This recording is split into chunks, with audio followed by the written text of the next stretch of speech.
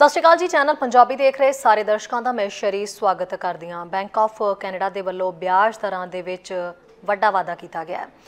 ਇਹ ਹੁਣ ਮਹਿੰਗਾਈ ਦੀ ਦਰ ਇਸ ਨਾਲ ਘਟੇਗੀ ਜਾਂ ਵਧੇਗੀ ਜਾਂ ਅੱਗੇ ਕੀ ਹੋਏਗਾ ਇਸ ਤੇ ਬਹੁਤ ਵੱਡਾ ਸਵਾਲ ਖੜਾ ਹੋ ਰਿਹਾ ਹੈ ਪਰ ਨਾਲ ਦੀ ਨਾਲ ਸਭ ਤੋਂ ਜਿਹੜੀ ਚਿੰਤਾ ਵਾਲੀ ਗੱਲ ਹੈ ਉਹ ਹੈ ਕਿ ਜਿਵੇਂ ਹੀ ਗਰੋਸਰੀ ਮਹਿੰਗੀ ਹੋਣ ਦੀ ਗੱਲ ਆਈ ਤਾਂ ਕੈਨੇਡੀਅਨ ਚਿੰਤਾ ਦੇ ਵਿੱਚ ਨੇ ਗਰੋਸਰੀ ਦੇ ਵਿੱਚ ਕਿਹੜੀਆਂ-ਕਿਹੜੀਆਂ ਚੀਜ਼ਾਂ ਮਹਿੰਗੀਆਂ ਹੋਣਗੀਆਂ ਕਿਹੜੀਆਂ ਚੀਜ਼ਾਂ ਦੇ ਵਿੱਚ ਬਿਲਕੁਲ ਭਾਅ ਨਹੀਂ ਵਧਣਗੇ ਤੇ ਹੇਠਾਂ ਹੋਰ ਕੀਮਤਾਂ ਆ ਸਕਦੀਆਂ ਨੇ ਇਹ तमाम ਜਾਣਕਾਰੀ ਵਿਸਥਾਰ ਦੇ ਨਾਲ ਤੁਹਾਡੇ ਨਾਲ ਕਰਾਂਗੇ ਸਾਂਝੀ ਸ਼ੁਰੂਆਤ ਕਰ ਲੈਂਦੇ ਹਾਂ ਹੈਡਲਾਈਨਸ ਦੇ ਨਾਲ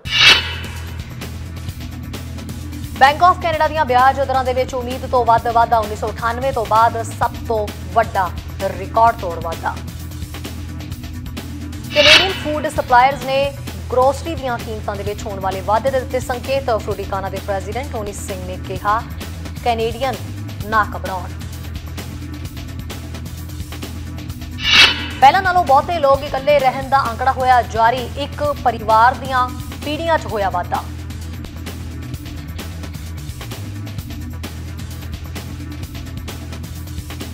ਖਬਰਾਂ ਵਿਸਥਾਰ ਦੇ ਨਾਲ ਤੇ ਸਭ ਤੋਂ ਪਹਿਲਾਂ ਉਸ ਅਹਿਮ ਖਬਰ ਦੇ ਉੱਤੇ ਨਜ਼ਰ ਪਾਵਾਂਗੇ, ਜੋ ਅੱਜ ਪੂਰਾ ਦਿਨ ਸੁਰਖੀਆਂ ਦੇ ਵਿੱਚ ਰਹੀ। ਪਹਿਲਾਂ ਹੀ ਜਿਵੇਂ ਕਿ ਸੰਕੇਤ ਮਿਲ ਰਹੇ ਸੀ ਕਿ ਬੈਂਕ ਆਫ ਕੈਨੇਡਾ ਆਪਣੀਆਂ ਵਿਆਜ ਦਰਾਂ ਦੇ ਵਿੱਚ ਵਾਧਾ ਕਰ ਰਿਹਾ ਹੈ। ਸੋ ਇਹ ਵਾਧਾ ਹੁਣ ਕਰ ਦਿੱਤਾ ਗਿਆ ਹੈ। ਕੇਂਦਰੀ ਬੈਂਕ ਦੀ ਮੁੱਖ ਵਿਆਜ ਦਰ ਜਿਹੜੀ ਹੈ, ਉਸ ਦੇ ਵਿੱਚ 2.5% ਫੀਸਦੀ ਤੇ ਉਹ ਟੁਕ ਰਹੀ ਹੈ ਤੇ ਜੋ ਕਿ ਸਾਲ ਦੇ ਸ਼ੁਰੂ ਵਿੱਚ ਦੇਖੀ ਗਈ 0.25 ਫੀਸਦੀ ਦਰ ਤੋਂ ਇੱਕ ਸਖਤ ਤਬਦੀਲੀ ਹੈ। 1998 ਤੋਂ ਬਾਅਦ ਇਹ ਸਭ ਤੋਂ ਵੱਡਾ ਵਾਧਾ ਮੰਨਿਆ ਜਾ ਰਿਹਾ। ਸਟੈਟਿਸਟਿਕਸ ਕੈਨੇਡਾ ਦੇ ਵੱਲੋਂ 20 ਜੁਲਾਈ ਨੂੰ ਕੈਨੇਡਾ ਦੇ ਮਹਿੰਗਾਈ ਦੇ ਆંકੜੇ ਜਾਰੀ ਕੀਤੇ ਜਾਣ ਦੀ ਉਮੀਦ ਹੈ। ਬੈਂਕ ਆਫ ਕੈਨੇਡਾ ਨੇ ਵਿਆਜ ਦਰ ਨੂੰ ਪੂਰੇ ਫੀਸਦੀ ਅੰਕ ਦੇ ਨਾਲ ਆਖਰਕਾਰ ਵਧਾ ਹੀ ਦਿੱਤਾ, ਜੋ ਕਿ 1998 ਤੋਂ ਬਾਅਦ ਸਭ ਤੋਂ ਵੱਡਾ ਵਾਧਾ ਹੈ। ਕੇਂਦਰੀ ਬੈਂਕ ਦੀ ਮੁੱਖ ਵਿਆਜ ਦਰ ਹੁਣ 2.5 ਫੀਸਦੀ ਤੇ ਟਿਕੀ ਹੋਈ ਹੈ, ਜੋ ਕਿ ਸਾਲ ਦੇ ਸ਼ੁਰੂ ਵਿੱਚ ਦੇਖੀ ਗਈ 0.25 ਫੀਸਦੀ ਦਰ ਤੋਂ ਇੱਕ ਸਖਤ ਤਬਦੀਲੀ ਕਹੀ ਜਾ ਸਕਦੀ ਹੈ। ਅਗਸਤ 1998 ਤੋਂ ਬਾਅਦ 100 ਬੇਸਿਸ ਪੁਆਇੰਟਾਂ ਦੀ ਦਰ ਦੇ ਵਿੱਚ ਸਭ ਤੋਂ ਵੱਡਾ ਇਹ ਵਾਧਾ ਹੈ। ਬੈਂਕ ਆਫ ਕੈਨੇਡਾ ਨੇ ਇਹ ਵੀ ਸੰਕੇਤ ਦਿੱਤਾ ਹੈ ਕਿ ਮੌਜੂਦਾ ਚੱਕਰ ਦੇ ਅੰਤ ਤੋਂ ਪਹਿਲਾਂ ਵਿਆਜ ਦਰਾਂ ਨੂੰ ਵਾਧੇ ਰਹਿਣ ਦੀ ਲੋੜ ਹੋਵੇਗੀ। ਕੇਂਦਰੀ ਬੈਂਕ ਨੇ ਇਹ ਵੀ ਇਸ਼ਾਰਾ ਕੀਤਾ ਹੈ ਕਿ ਉਹ ਵਿਆਜ ਦਰਾਂ ਨੂੰ ਹੋਰ ਵੀ ਵਧਾਉਣ ਦੀ ਉਮੀਦ ਕਰਦਾ ਹੈ। ਗਵਰਨਿੰਗ ਕੌਂਸਲ ਇਹ ਨਿਰਣਾ ਕਰਨਾ ਜਾਰੀ ਰੱਖਦੀ ਹੈ ਕਿ ਵਿਆਜ ਦਰਾਂ ਨੂੰ ਹੋਰ ਵਧਾਉਣ ਦੀ ਲੋੜ ਹੋਵੇਗੀ ਤੇ ਵਾਧੇ ਦੀ ਰਫ਼ਤਾਰ ਨੂੰ ਬੈਂਕ ਦੀ ਆਰਥਿਕਤਾ ਦੇ ਉੱਤੇ ਮਹਿੰਗਾਈ ਦੇ ਚੱਲ ਰਹੇ ਮੁਲਾਂਕਣ ਦੁਆਰਾ ਸੇਧ ਦਿੱਤੀ ਜਾਏਗੀ। ਕੇਂਦਰੀ ਬੈਂਕ ਨੇ ਕਿਹਾ ਹੈ ਕਿ ਗਲੋਬਲ ਕਾਰਨਾਂ ਨੇ ਮਹਿੰਗਾਈ ਨੂੰ ਵਧਾਉਣ ਦੇ ਵਿੱਚ ਮੁੱਖ ਭੂਮਿਕਾ ਨਿਭਾਈ ਹੈ, ਜੋ ਮਈ ਦੇ ਵਿੱਚ 7.7 ਫੀਸਦੀ ਤੇ 39 ਸਾਲ ਦੇ ਉੱਚ ਪੱਧਰ ਤੇ ਪਹੁੰਚ ਗਈ ਸੀ। ਘਰੇਲੂ ਦਬਾਅ ਸਭ ਤੋਂ ਅੱਗੇ ਵਧ ਰਿਹਾ ਹੈ। ਬੈਂਕ ਨੇ ਆਪਣੇ ਬਿਆਨ ਦੇ ਵਿੱਚ ਕਿਹਾ ਹੈ ਕਿ ਕੈਨੇਡਾ ਦੇ ਵਿੱਚ ਮਹਿੰਗਾਈ ਬੈਂਕ ਦੀ ਅਪ੍ਰੈਲ ਦੀ ਆਰਥਿਕਤਾ ਨੀਤੀ ਰਿਪੋਰਟ ਦੇ ਵਿੱਚ ਉਮੀਦ ਨਾਲੋਂ ਵੱਧ ਤੇ ਵਧੇਰੇ ਸਥਿਰ ਹੈ ਤੇ ਅਗਲੇ ਕੁਝ ਮਹੀਨਿਆਂ ਵਿੱਚ ਲਗਭਗ 8% ਦੀ ਰਹਿਣ ਦੀ ਸੰਭਾਵਨਾ ਹੈ। ਜਦੋਂ ਕਿ ਯੂਕਰੇਨ ਦੇ ਵਿੱਚ ਜੰਗ ਤੇ ਸਪਲਾਈ ਦੇ ਵਿੱਚ ਚੱਲ ਰਹੀ ਰੁਕਾਵਟ ਵਰਗੇ ਗਲੋਬਲ ਕਾਰਨ ਸਭ ਤੋਂ ਵੱਡੇ ਇਸ ਵੇਲੇ ਇੱਕ ਕਾਰਨ ਮੰਨੇ ਜਾ ਰਹੇ ਨੇ ਤੇ ਵਧੇਰੇ ਮੰਗ ਦੇ ਕਾਰਨ ਘਰੇਲੂ ਕੀਮਤਾਂ ਦਾ ਦਬਾਅ ਵਧੇਰੇ ਪ੍ਰਮੁੱਖ ਵੀ ਹੋ ਰਿਹਾ ਹੈ। ਬੈਂਕ ਆਫ ਕੈਨੇਡਾ ਨੇ ਕਿਹਾ ਹੈ ਕਿ ਖਪਤਕਾਰ ਇੰਡੈਕਸ ਪ੍ਰਾਈਸ ਬਣਾਉਣ ਵਾਲੀਆਂ ਅੱਧੀਆਂ ਤੋਂ ਵੱਧ ਵਸਤੂਆਂ 5% ਤੋਂ ਵੱਧ ਹੋ ਰਹੀਆਂ ਨੇ। ਕੀਮਤ ਦੇ ਦਬਾਅ ਦੇ ਇਸ ਵਿਸਥਾਰ ਦੇ ਨਾਲ ਬੈਂਕ ਦੀ ਮਹਿੰਗਾਈ ਦੇ ਮੁੱਖ ਮਾਪਦੰਡ 3.9% ਤੇ 5.4% ਦੇ ਵਿਚਕਾਰ ਚਲੇ ਗਏ ਨੇ। ਬਹੁਤੇ ਅਰਥਸ਼ਾਸਤਰੀਆਂ ਨੇ ਭਵਿੱਖਬਾਣੀ ਕੀਤੀ ਸੀ ਕਿ ਕੇਂਦਰੀ ਬੈਂਕ ਵਿਆਜ ਦਰਾਂ ਵਿੱਚ ਫੀਸਦੀ ਨੂੰ ਅੰਕ ਤੇ 3 ਚੌਥਾਈ ਤੱਕ ਵਧਾਏਗਾ। ਪਿਛਲੇ ਮਹੀਨੇ ਦੀ ਦਰ ਦੇ ਐਲਾਨ ਤੋਂ ਬਾਅਦ ਗਵਰਨਰ ਟਿਫ ਮਕੱਲਮ ਨੇ ਕਿਹਾ ਹੈ ਕਿ ਕੇਂਦਰੀ ਬੈਂਕ ਨੂੰ ਮਹਿੰਗਾਈ ਨੂੰ ਹੇਠਾਂ ਲਿਆਉਣ ਲਈ ਹੋਰ ਤੇਜ਼ੀ ਨਾਲ ਅੱਗੇ ਵਧਣ ਦੀ ਲੋੜ ਹੋ ਸਕਦੀ ਹੈ। ਬੈਂਕ ਆਫ ਕੈਨੇਡਾ ਨੇ ਇਸ ਸਾਲ ਪਹਿਲਾਂ ਹੀ ਆਪਣੀ ਵਿਆਜ ਦਰ ਦੇ ਵਿੱਚ ਤਿੰਨ ਵਾਰ ਵਾਧਾ ਕੀਤਾ ਹੈ, ਜਿਸ ਨਾਲ ਮਹਿੰਗਾਈ ਨੂੰ 2 ਤੋਂ 3 ਫੀਸਦੀ ਤੱਕ ਹੇਠਾਂ ਲਿਆਉਣ ਦੀ ਉਮੀਦ ਹੈ। ਹਾਲਾਂਕਿ ਵਾਧੀ ਵਿਆਜ ਦਰ ਉਹਨਾਂ ਲੋਕਾਂ ਲਈ ਵੀ ਮੁਸ਼ਕਲਾਂ ਬਣਾਉਂਦੀ ਹੈ, ਜਿਨ੍ਹਾਂ ਦੇ ਕੋਲ ਕਰਜ਼ਾ ਹੈ, ਜਿਸ ਦਾ ਮਤਲਬ ਹੈ ਕਿ ਤੁਸੀਂ ਬਹੁਤ ਖਰਚ ਤੇ ਕੈਨੇਡੀਅਨ ਅਰਥਚਾਰੇ ਲਈ ਇੱਕ ਸੰਭਾਵੀ ਮੰਦੀ ਦੇਖ ਸਕਦੇ ਹੋ। ਸਿਲਵਰ ਲਾਈਨਿੰਗ ਇਹ ਹੈ ਕਿ ਜਿਵੇਂ ਹੀ ਵਿਆਜ ਦਰਾਂ ਵਧਦੀਆਂ ਨੇ, ਸਥਿਰ ਆਮਦਨੀ ਜੀਆਈਸੀਸ ਤੇ ਵਾਪਸੀ ਦੀ ਦਰ ਸਾਲਾਂ ਵਿੱਚ ਨਹੀਂ ਦੇਖੀ ਗਈ, ਉੱਚ ਪੱਧਰ ਤੱਕ ਵੱਧ ਸਕਦੀ ਹੈ। ਅਗਲੀ ਵਿਆਜ ਦਰ ਦਾ ਐਲਾਨ 7 ਸਤੰਬਰ ਨੂੰ ਹੋਵੇਗਾ। ਬੈਂਕ ਆਫ ਕੈਨੇਡਾ ਦੇ ਆਰਥਿਕ ਅੰਦਾਜ਼ੇ ਦੇ ਮੁਤਾਬਕ ਆਪਣੀ ਨਵੀਂ ਮੁਦਰਾ ਨੀਤੀ ਰਿਪੋਰਟ ਦੇ ਵਿੱਚ ਕੇਂਦਰੀ ਬੈਂਕ ਨੇ ਕਿਹਾ ਹੈ ਕਿ ਉਸ ਨੂੰ ਕੈਨੇਡਾ ਦੀ ਆਰਥਿਕਤਾ ਦੇ ਵਿੱਚ ਇਸ ਸਾਲ 3.5 ਫੀਸਦੀ 2023 ਦੇ ਵਿੱਚ 1.75 ਫੀਸਦੀ ਤੇ 2024 ਦੇ ਵਿੱਚ 2.5 ਫੀਸਦੀ ਦੇ ਵਾਧੇ ਦੀ ਉਮੀਦ ਹੈ। ਹਾਲਾਂਕਿ ਉਹ ਨੋਟ ਕਰਦੇ ਨੇ ਕਿ ਆਰਥਿਕ ਗਤੀਵਿਧੀ ਅਦਾਇਗੀ ਹੌਲੀ ਹੋ ਜਾਵੇਗੀ ਕਿਉਂਕਿ ਮੁਦਰਾ ਨੀਤੀ ਸਖਤੀ ਨਾਲ ਫੜੀ ਗਈ ਹੈ। ਜੁਲਾਈ ਦੇ ਦ੍ਰਿਸ਼ਟੀਕੋਣ ਨੇ ਇਸ ਸਾਲ ਦੇ ਅੰਤ ਵਿੱਚ ਮਹਿੰਗਾਈ ਨੂੰ ਵਾਪਸ ਲਿਆਉਣਾ ਸ਼ੁਰੂ ਕਰ ਦਿੱਤਾ ਹੈ। ਅਗਲੇ ਸਾਲ ਦੇ ਅੰਤ ਤੱਕ ਲਗਭਗ 3% ਤੱਕ ਇਹ ਘਟ ਜਾਂਦੀ ਹੈ ਤੇ 2024 ਦੇ ਅੰਤ ਤੱਕ 2% ਦੇ ਟੀਚੇ ਤੇ ਵਾਪਸ ਆਉਂਦੀ ਹੈ। ਕੇਂਦਰੀ ਬੈਂਕ ਨੇ ਇਸ ਬਾਰੇ ਚਿੰਤਾਵਾਂ ਨੂੰ ਵੀ ਨੋਟ ਕੀਤਾ ਹੈ ਕਿ ਖਪਤਕਾਰਾਂ ਤੇ ਕਾਰੋਬਾਰਾਂ ਦੇ ਲਈ ਵੱਧਦੀ ਮਹਿੰਗਾਈ ਦਾ ਕੀ ਅਰਥ ਹੈ। ਉਹਨਾਂ ਕਿਹਾ ਕਿ ਬੈਂਕ ਇਸ ਖਤਰੇ ਤੋਂ ਬਚ ਰਿਹਾ ਹੈ ਕਿ ਜੇਕਰ ਉੱਚ ਮੁਦਰਾ ਸਫੀਤੀ ਵੱਧ ਜਾਂਦੀ ਹੈ ਤਾਂ ਅਜਿਹਾ ਹੋਣ ਦੇ ਨਾਲ ਤਾਂ ਕੀਮਤ ਸਥਿਰਤਾ ਨੂੰ ਬਹਾਲ ਕਰਨ ਦੇ ਲਈ ਹੋਰ ਵੀ ਉੱਚੀਆਂ ਵਿਆਜ ਦਰਾਂ ਦੀ ਲੋੜ ਪਵੇਗੀ, ਜਿਸ ਨਾਲ ਆਰਥਿਕਤਾ ਕਮਜ਼ੋਰ ਹੋ ਜਾਵੇਗੀ। ਨਿਊਜ਼ ਟੈਸਟ ਤੋਂ ਚੈਨਲ ਪੰਜਾਬੀ ਦੀ ਰਿਪੋਰਟ।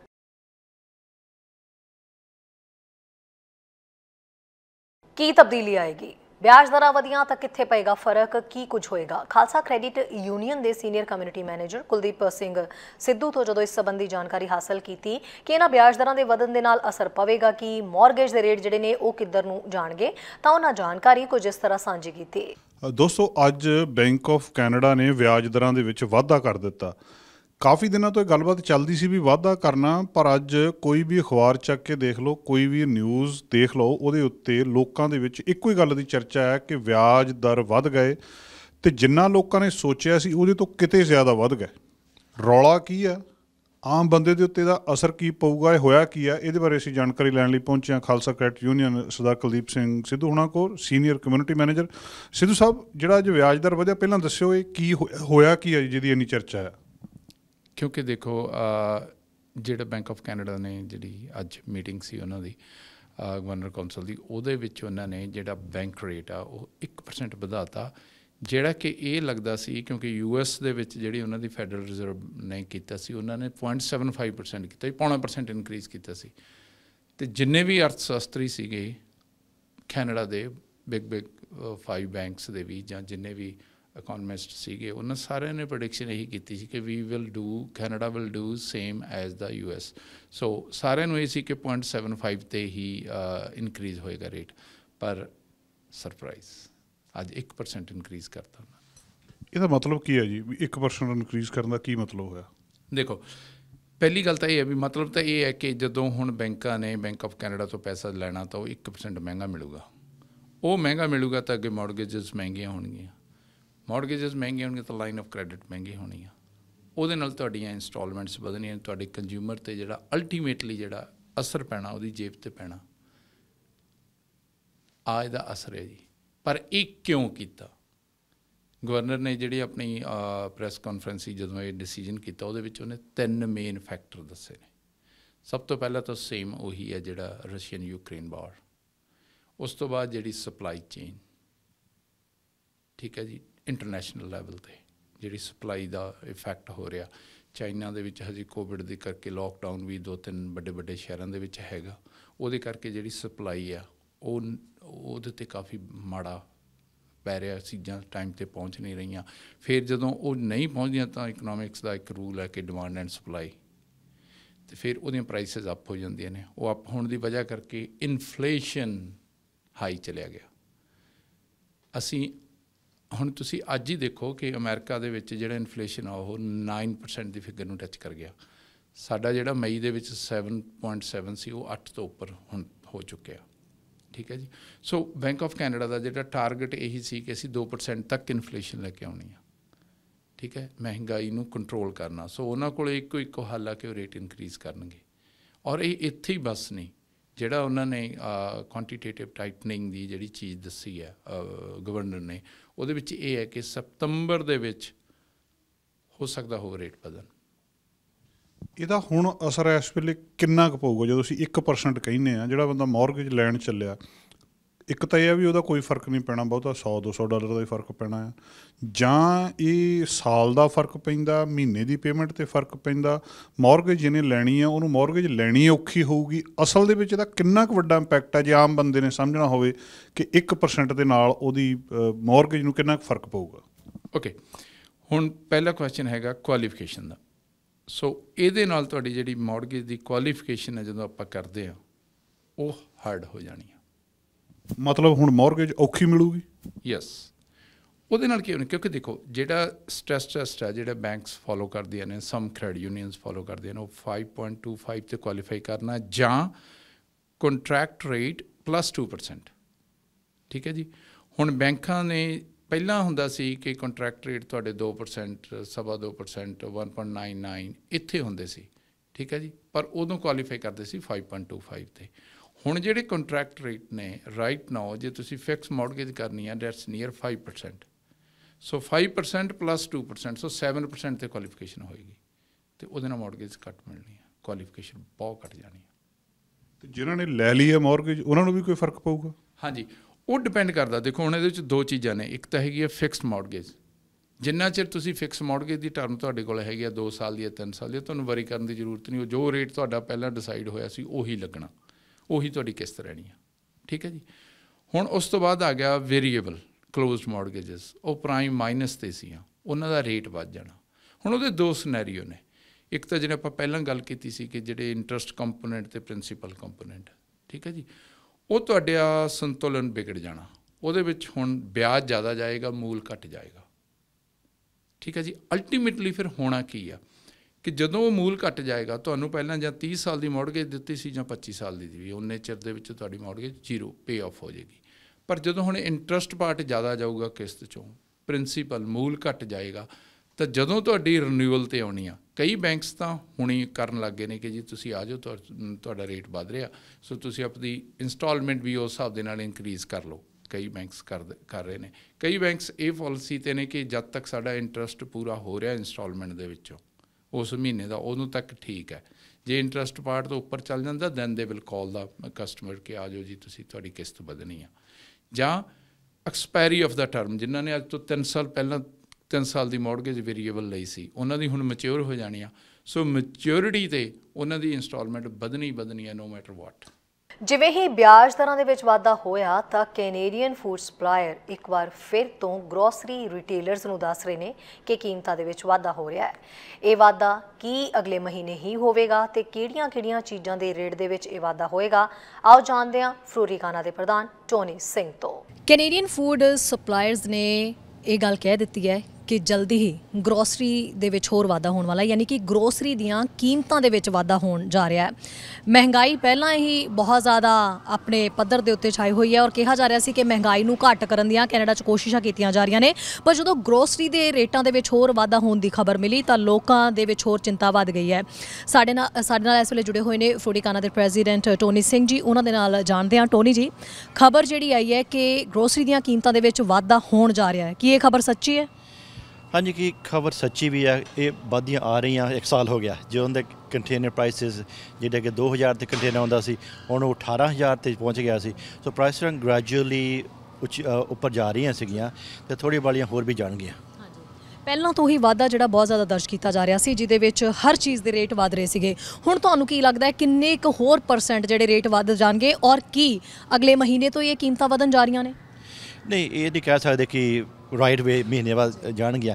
ਇਹ ਗ੍ਰੈਜੂਅਲੀ ਕਈ ਕੀਮਤਾਂ ਦਾ ਦੱਸਿਆ ਕਿ ਪਹਿਲਾਂ ਵੱਧ ਚੁੱਕੀਆਂ ਤੇ ਇਹ ਗ੍ਰੈਜੂਅਲੀ ਸਾਲ ਦੇ ਵਿੱਚ ਜਿਸ ਤਰ੍ਹਾਂ ਕਿ ਹੁਣ ਗੈਸ ਦੀ ਪ੍ਰਾਈਸ ਉੱਪਰ ਚਲ ਗਈ ਆ ਲੇਬਰ ਉੱਪਰ ਚਲ ਗਈ ਆ ਫਰੇਟ ਉੱਪਰ ਚਲ ਗਿਆ, ਉਹ ਹੌਲੀ ਹੌਲੀ ਗ੍ਰੈਜੂਅਲੀ 10 15 20% ਤੱਕ ਪ੍ਰਾਈਸਾਂ ਅਗਲੇ ਸਾਲ ਤੱਕ ਇੱਥੇ ਪਹੁੰਚਣਗੀਆਂ। ਇਹ ਨਹੀਂ ਕਿ ਅਗਲੇ ਮਹੀਨੇ ਸਾਰੀਆਂ ਪ੍ਰਾਈਸਾਂ ਉੱਪਰ ਚਲ ਜਾਣਗੀਆਂ। ਕਈ ਆਈਟਮਾਂ ਹੈਗੀਆਂ ਜਿਹੜੀਆਂ ਆਪਣੀਆਂ ਲੋਕਲ ਆਈਟਮਾਂ ਗਰੋ ਹੁੰਦੀਆਂ ਜਾਂ ਕੈਲੀਫੋਰਨੀਆ ਗਰੋ ਹੁੰਦੀਆਂ, ਉਹਨਾਂ ਦੀ ਪ੍ਰਾਈਸਾਂ ਜ਼ਿਆਦੀਆਂ ਨਹੀਂ ਹੋ ਜਾ, ਉੱਪਰ ਜਾ ਰਹੀਆਂ ਪ੍ਰੋਡਿਊਸ ਦੀਆਂ।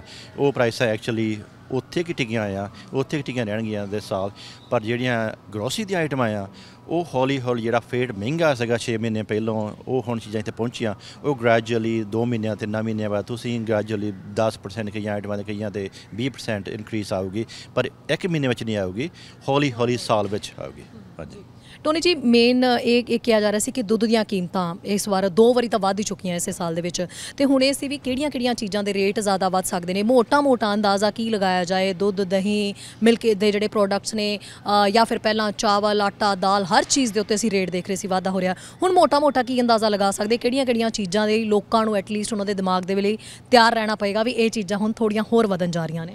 ਹਾਂ, ਦੁੱਧ ਤੇ ਪ੍ਰਾਈਸਾਂ ਸਾਲ ਵਿੱਚ ਤਿੰਨ ਵਾਰੀ ਵਧਾਉਂਦੇ ਆ ਡੇਅਰੀ ਵਾਲੇ, ਉਹ ਇਨਕਰੀਜ਼ ਹੁੰਦੀਆਂ ਰਹਿੰਦੀਆਂ, ਹਰ ਸਾਰੀ ਉਹ ਅੱਗੇ ਵੀ ਹੁੰਦੀਆਂ ਰਹਿੰਦੀਆਂ, ਹੁਣ ਵੀ ਫਿਊਚਰ ਵੀ ਹੁੰਦੀਆਂ ਰਹਿਣਗੀਆਂ। ਜਿਹੜੀ ਹੁਣ ਇਮੀਡੀਏਟ ਚੇਂਜ ਆ ਰਹੀ ਆ, ਇਹ ਚ ਆ ਰਹੀ ਆ ਜ਼ਿਆਦਾ ਰਾਈਸ ਤੇ।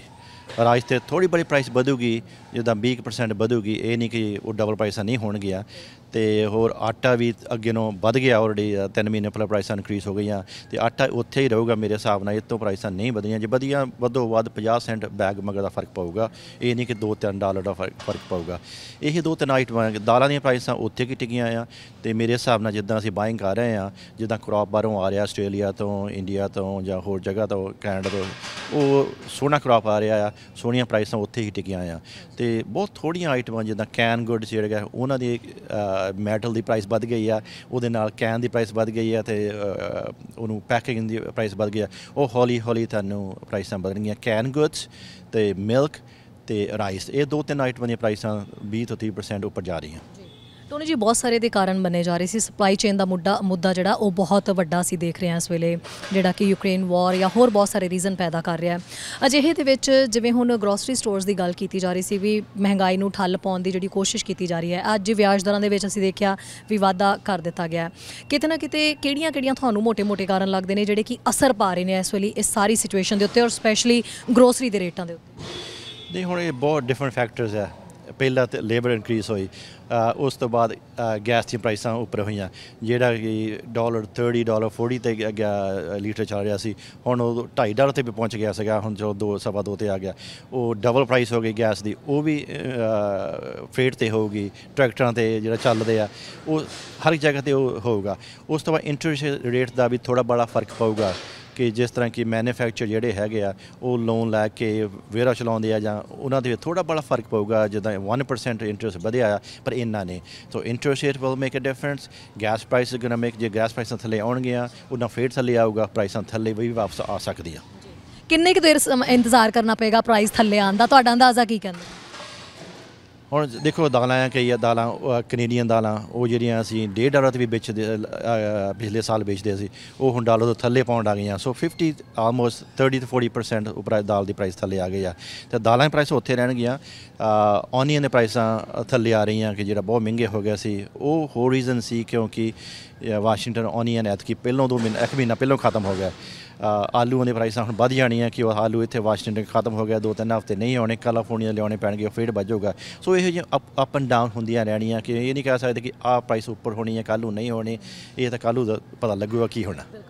ਟੋਨੀ ਜੀ, ਇਸ ਵੇਲੇ ਨਾ ਜਿਹੜੇ ਕੈਨੇਡੀਅਨ ਲੋਕ ਨੇ, ਇਹ ਬੜੀ ਸਾਰੀ ਟੈਨਸ਼ਨ ਦੇ ਵਿੱਚ ਆ ਗਏ ਨੇ ਸਪੈਸ਼ਲੀ ਜਦੋਂ ਇਹਨਾਂ ਨੂੰ ਕੈਨੇਡਾ ਫੂਡ ਸਪਲਾਇਰਸ ਦੀ ਰਿਪੋਰਟ ਜਾਰੀ ਕੀਤੀ ਗਈ ਵੀ ਕੀਮਤਾਂ ਵਧਣ ਵਾਲੀਆਂ ਨੇ। ਲੋਕਾਂ ਨੂੰ ਟੋਨੀ ਸਿੰਘ ਵੱਲੋਂ ਕੀ ਮੈਸੇਜ ਹੈ ਵੀ ਥੋੜਾ ਜਿਹਾ ਹੌਸਲਾ ਰੱਖ ਸਕਣ, ਕਿਉਂਕਿ ਇਸ ਵੇਲੇ ਲੋਕ ਬਹੁਤ ਚਿੰਤਾ ਦੇ ਵਿੱਚ ਨੇ। ਪਹਿਲਾਂ ਹੀ ਇਹ ਬਹੁਤ ਸਾਰੀਆਂ ਰਿਪੋਰਟਸ ਅਸੀਂ ਦੇਖੀਆਂ, ਬਹੁਤ ਸਾਰੇ ਸਰਵੇ ਹੋਏ, ਜਿਹਦੇ ਵਿੱਚ ਇਹ ਕਿਹਾ ਜਾ ਰਿਹਾ ਕਿ ਘੱਟੋ ਘੱਟ 70% ਜਿਹੜੇ ਲੋਕ ਨੇ, ਉਹਨਾਂ ਨੇ ਕਟੌਤੀ ਕੀਤੀ ਹੈ ਆਪਣੀ ਗਰੋਸਰੀ ਦੇ ਬਜਟ ਦੇ ਵਿੱਚ ਤੇ ਅੱਧੇ ਤੋਂ ਜ਼ਿਆਦਾ ਲੋਕ ਉਹ ਨੇ ਜਿਹੜੇ ਕਿ ਇਸ ਵੇਲੇ ਭੁੱਖੇ ਸੌ ਰਹੇ ਨੇ। ਤਾਂ ਉਹਨਾਂ ਨੂੰ ਕੀ ਮੈਸੇਜ ਕਨਵੇ ਕਰਨਾ ਚਾਹੋਗੇ?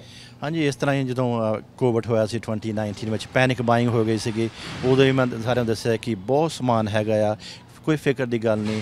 ਹੁਣ ਵੀ ਸਾਡੇ ਕੋਲ ਬਹੁਤ ਸਮਾਨ ਹੈਗਾ ਪ੍ਰਾਈਸਾਂ ਵੀ ਅਸੀਂ ਲੋ ਰੱਖਾਂਗੇ, ਬਹੁਤ ਟਰਾਈ ਕਰੀ ਦੀ ਪ੍ਰਾਈਸਾਂ ਨਾ ਵਧਾਈਏ। ਜਦੋਂ ਪਿੱਛੋਂ ਨਹੀਂ ਚੀਜ਼ ਮਿਲਦੀ, ਹੋਰ ਗੱਲ ਆ, ਪਰ ਅਸੀਂ ਬਹੁਤ ਟਰਾਈ ਕਰੀ ਕਿ ਪ੍ਰਾਈਸਾਂ ਥੱਲੇ ਰੱਖੀਏ। ਤੇ ਮੇਰੇ ਹਿਸਾਬ ਨਾਲ ਫਰੂਟੀ ਕਰਾਂ, ਤੁਹਾਨੂੰ ਅਜੇ ਵੀ ਪ੍ਰਾਈਸਾਂ ਬਹੁਤ ਵਧੀਆ ਮਿਲਣਗੀਆਂ, ਸਮਾਨ ਵੀ ਮਿਲੂਗਾ।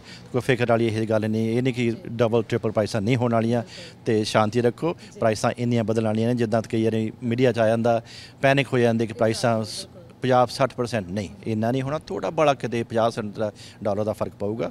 ਇਹ ਨਹੀਂ ਕਿ 100 ਡਾਲਰ ਦੀ ਗਰੋਸਰੀ ਤੁਹਾਨੂੰ ਹੁਣ 200 ਜਾਊਗੀ, ਨਹੀਂ। ਸੋ ਇਸੇ ਪੈਨਿਕ ਨੂੰ ਘੱਟ ਕਰਨ ਦੇ ਲਈ ਹੀ ਅਸੀਂ ਤੁਹਾਡੇ ਨਾਲ ਇੰਟਰਵਿਊ ਕਰਨ ਆਏ ਹਾਂ।